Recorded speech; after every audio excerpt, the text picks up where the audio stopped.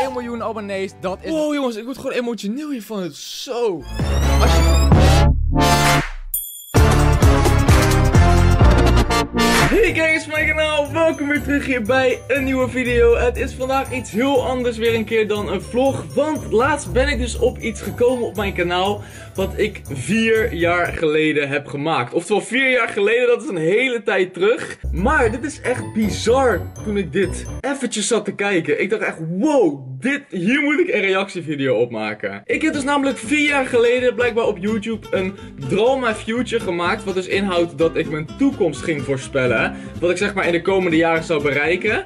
Oftewel, dat zou dus nu allemaal wel of niet uitgekomen moeten zijn, want we zijn dus vier jaar verder. Vandaag wil ik daar samen met jullie dus op gaan reageren. Ik ben echt super blij dat ik dit vier jaar geleden ooit gemaakt heb, want dat is dus echt super grappig om nu terug te zien. Dus als je hier zin in hebt, vergeet dan niet zeker om hieronder te abonneren op mijn kanaal. Bioscoopkaartjes te halen voor mijn film. Oké, grapje, grapje. Moet je eigenlijk wel doen. maar jongens en meiden, ik denk dat we maar gewoon gaan beginnen, want dit is echt leuk. Oké, even voor de duidelijkheid. Zo zag ik er dus uit zo'n vier jaar geleden, of vijf jaar geleden. Ik weet niet precies hoe oud ik je was. Ik was 16 volgens mij. Zoals je ziet, ik ben niet heel erg veel veranderd. Het enige wat ik toen niet had was puist en dat heb ik nu wel. dus dat is niet heel veel goeds. Hey kijkers van Gameplay World Oh! Leuk dat je weer kijkt naar een nieuwe... Mijn stem is gelukkig in de laatste vijf jaar wel een stukje volwassener geworden. Een stukje zwaarder geworden. Dus daar ben ik ook wel een beetje blij om dat dat gebeurd is tenminste. Daar gaan Hi, we! Ik ben Gio, 16 ik ben 16 jaar, jaar. oud. Oké, het kan 16 misschien zo zijn dus, ja. dat je mij ook kent. Van mijn YouTube natuurlijk, of dat je mij nog niet kent. Ja, Als ik ken je. kent. Goed zo. In deze video ga ik jullie dus laten zien hoe mijn ideale toekomst eruit ziet. Nou ja, laten we dus eigenlijk maar gelijk beginnen bij het begin waar Oh. ik nu dus ben. Ik ben 16 jaar zoals ik net al Oh zei jee. en ik zit op VWO 5. Of nou ja... Beter gezegd, ik zit op HAVO 5. Ja. Ik ben een jaartje teruggegaan eigenlijk dit jaar. Dus volgend schooljaar begin ik in HAVO 5. En mijn allereerste doel is natuurlijk om mijn diploma te halen. Mijn HAVO 5 diploma... Oké, hier zei ik dus inderdaad nog dat ik eh, heel erg graag mijn schooldiploma wilde halen. Nou ja, heel veel van jullie weten dat ik natuurlijk gestopt ben met school. Ik heb geen diploma.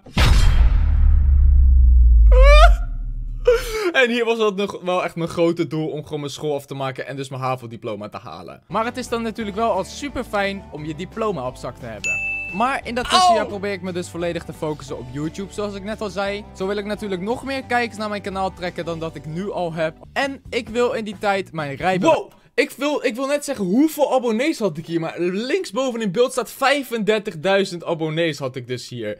En ik had het dus nu ook over dat ik mijn rijbewijs wilde gaan halen. Nou, dat is één ding wat tenminste wel gelukt is. Ik heb gelukkig mijn rijbewijs, dus daar ben ik wel een beetje blij. Jammer Eindelijk! genoeg kan je natuurlijk niet voor altijd thuis blijven in deze tijden. Dus moet ik natuurlijk na dat jaar dan ook weer verder met school. Ik wil dan een opleiding gaan volgen ergens in Utrecht. En die opleiding heeft te maken met de film- en foto-industrie. Ik weet nog niet precies welke opleiding ik wil volgen, maar het is in ieder geval in die richting. Ik heb al een beetje rond zitten kijken en de meeste opleidingen van dit zitten in Utrecht.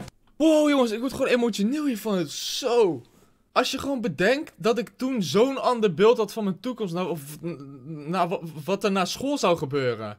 Hier zei ik dat ik wilde gaan studeren in Utrecht. Dus dan, dat, is, dat heb ik alleen nooit gedaan natuurlijk. Want, wow joh, ik krijg gekke kippenvel ineens. Tijdens mijn studie wil ik wel natuurlijk nog gewoon bij mijn ouders wonen. Maar als dit niet mogelijk is, dus bijvoorbeeld als de reistijd te lang is, dan wil ik op kamers tijdelijk. Toen was dus nog inderdaad mijn planning dat ik op kamers wilde gaan. Dat was toen mijn hele toekomstbeeld.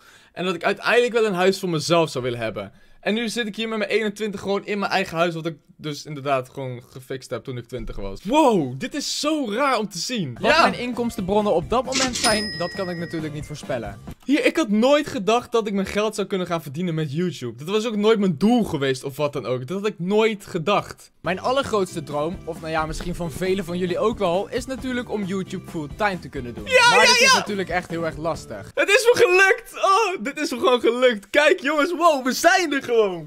Wow. Toen was ik dus, of toen zei ik dus inderdaad dat het mijn droom was om van mijn hobby mijn werk te maken. En nu is het gewoon gelukt. Alleen hier zei ik dus dat het compleet onmogelijk was. En dat het me waarschijnlijk niet zou gaan lukken. Komen. 21 maar jaar. mijn droom is dan, vanaf rond mijn 21ste, 22ste, kan natuurlijk verschillen, om een huis te huren ergens in Amsterdam of in Rotterdam. Gewoon een grote stad met al je vrienden. Dit is ook zo raar. Ik wilde dus samen gaan wonen met mijn YouTube vrienden blijkbaar. Dat was mijn doel. Nu heb ik het eigenlijk vorig jaar wel een beetje soort van dat hier gehad. Dat we met z'n allen in dit huis waren en zo. Dat hebben jullie ook gezien in de vlogs. Maar dat was toen dus ook mijn droom. Een van de dingen die ik ooit ook echt een keer moet gedaan hebben in mijn leven is een wereldreis maken. Of een reis naar Amerika of Afrika. Ik wil zo yo. graag meer van de wereld zien dan alleen dit saaie kutland Nederland. Even rustig taalgebruik, Gio. Rustig. Ik wil zoveel mogelijk van de wereld gezien hebben in mijn leven. Besef, dit was toen een van mijn dromen om zo ver mogelijk te reizen. Amerika, Afrika. Nou, als jullie mijn vlogs gezien hebben of als jullie me al lang volgen, hebben jullie dus ook gezien dat ik dit allemaal al gedaan heb. En dat me dit allemaal al gelukt is. Het leukste Ja. is natuurlijk om dit samen met een vriend te doen. Het maakt niet uit wie, als ik maar niet alleen ben. En dan denk je, ben je dan gestopt met YouTube? Nee? Nee. Alles Ha. van deze reis wil ik vast gaan leggen. Alles van deze reis wil ik gewoon op YouTube plaatsen. Vlogs maken, alles. Ja, en zelfs toen wilde ik al, of had ik al in mijn hoofd dat ik al mijn reizen gewoon wilde gaan vastleggen. En dat ik alles wilde gaan vloggen en zo. En kijk nu, vlog ik heel veel en leg ik al mijn reizen vast. 27 jaar oud. Een huis te kopen. Een huis waar ik dan de komende 10 jaar misschien wel ga verblijven. Daarin natuurlijk samen te gaan wonen met je vriendin. En zo Ja. een supermooi leven ervan te maken. Maar zoals ik aan het begin van deze video al zei, is dit natuurlijk allemaal een fantasie. Mijn droom is dan natuurlijk ook om een huis in Amerika te kopen. Of gewoon een huis ergens in een warm Zuid-Europees land. Oké, dat is me nog niet gelukt. Ik heb nog geen huis in Amerika en ook geen huis in Spanje of waar dan ook. Maar ik heb nog 6 jaar om dit te bereiken. Dus als ik 27 jaar oud ben, dan mag ik dat gaan bereiken. Waarschijnlijk gaan de standaard dingen dan allemaal wel natuurlijk vanzelf. Zo zal misschien wel mijn trouwdag komen. Natuurlijk in een warm land, waar anders. Ik was hier trouwens 16 en je ziet hier restelijk mijn vriendin tegen met blond haar. Want ik was toen ik 16 had ik een gekke crush op deze dame die je hier ziet staan. Daar was ik best wel verliefd op. Deze tekening, wauw.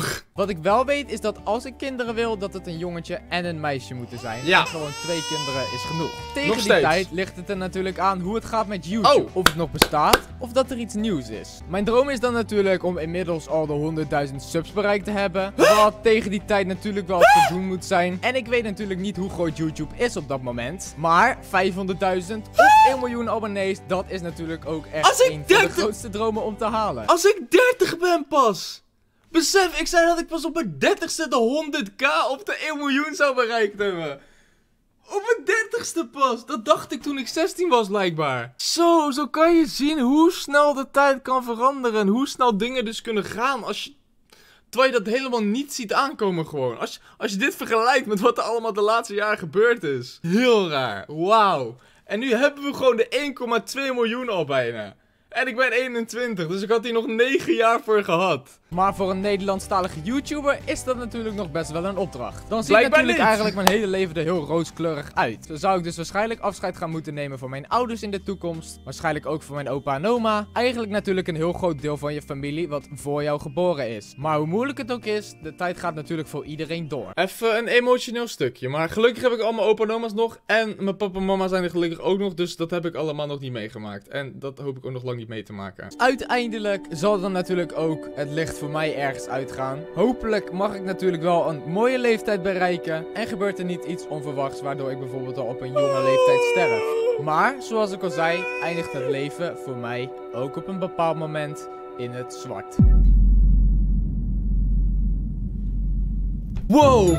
Jongens en meiden, dit is heftig. Dit is zo ziek om terug te zien, eerlijk gezegd. Dat ik zo ander beeld had van mijn toekomst. Dat ik nu gewoon 21 ben. Gelukkig leef ik nog, want eh, ja, dit was het einde van mijn leven dus. Dat ik al de 1 miljoen heb bereikt. Dat ik dat toen nog dacht dat ik dat pas op mijn 30ste zou gaan bereiken. En wat dan ook. En dat ik nooit gedacht had dat ik YouTube fulltime kan gaan doen. Ik vind het in ieder geval super leuk om dit terug te zien. Want dit brengt echt allerlei dingen naar boven bij mij. Ik hoop dat jullie dit ook heel erg leuk vonden om dit terug te zien. Want eh, dit is best wel heel erg apart.